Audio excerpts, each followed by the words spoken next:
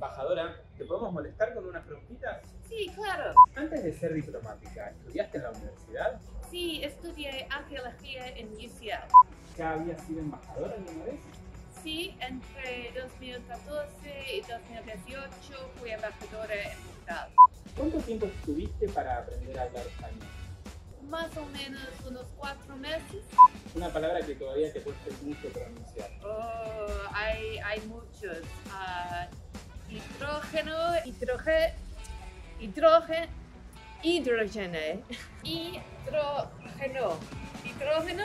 Desde que sos embajadora en Argentina estás viviendo en esta residencia tan tradicional. ¿A qué lugar te gusta ir cuando querés relajarte y desconectarte? Sígueme, que les muestro.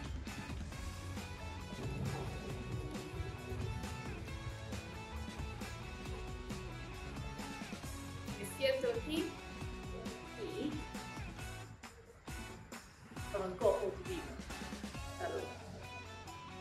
¿Qué es lo que más extrañas del Reino Unido cuando estás en otro país? Ah, mi familia. Vamos con un ping-pong de preguntas. ¿Beatles o Rolling Stones? Beatles. ¿Scotch on the rocks o Five O'Clock Tea? Scotch on the rock. ¿Fish and chips o Mince pie? Fish and chips. ¿Y el mate? ¿Lo preferís dulce o amargo? Oh, amargo, como mi personalidad. Y ahora una difícil. ¿Pink Harry o Pink William? Como príncipe, William, pero como polista, Harry.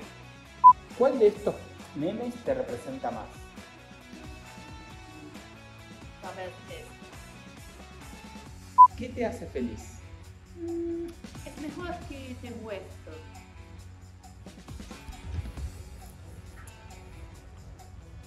Que tenga que ver con los caballos. Ah, Andar a caballo, ah, saltos hípicos, empecé un poco de polo. ¿Qué lugar de Argentina te gustaría conocer? Salto me llama mucho, mucha atención.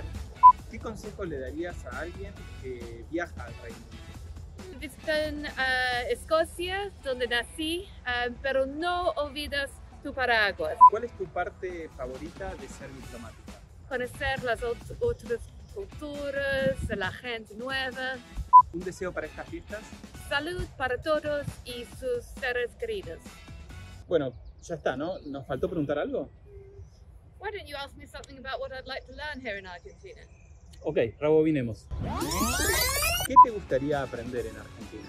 Mm, eh, me gustaría aprender a bailar tango.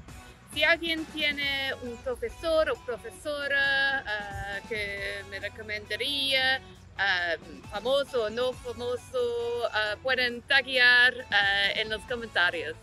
Gracias chicos, chao.